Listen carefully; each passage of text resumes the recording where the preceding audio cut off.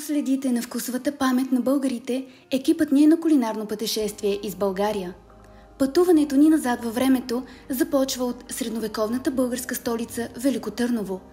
Тук сме, за да ви срещнем с днешните боляри и за да разгледаме заедно една от най-големите забележителности в Старопрестолния град. По-късно ще научим кои са най-характерните хранителни продукти и напитки от средновековната кухня и как след цели 6 столетия е възможно да бъдат възстановени над 25 средновековни рецепти. Днес ще ви изненадаме и с вкусен римски десерт от 3 век. Останете с нас! Вкусни времена започва сега.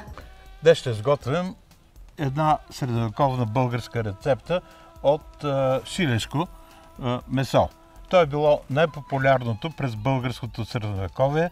Ползвало се е с а, интерес както от най-висшите дворцови и аристократични а, кръгове, така и сред бедните а, хора по българските земи. Днес още по-назад във времето ще ни върне Петър Стефанов, член на Национално дружество Традиция и страстен почитател на римската и византийската кухня.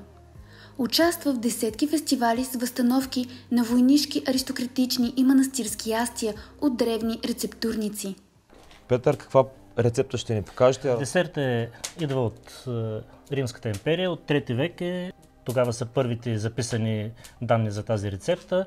Нарича се глобули на, на английски, може би на латински е така. Е, общо взето глобула е нещо малко дребно, а същността на рецептата е подсладени пържени топки от извара или рикота. Рикотата е съществувала в Римската империя, има данни за това, така че те си автентично сирен или млечен продукт.